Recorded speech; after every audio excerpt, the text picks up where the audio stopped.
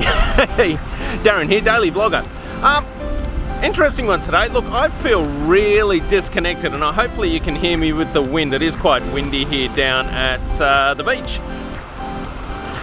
Yeah, feeling disconnected, but it's going to be an interesting one.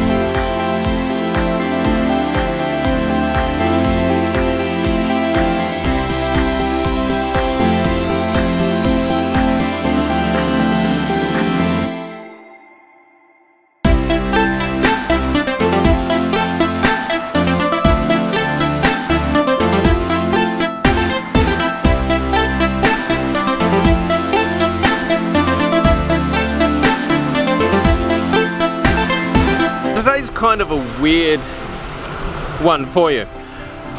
Uh, I'm seeing some people that I haven't seen for about 20 years. A couple of the guys uh, from uh, my, my past have contacted me and said, let's catch up for dinner. I thought, why not?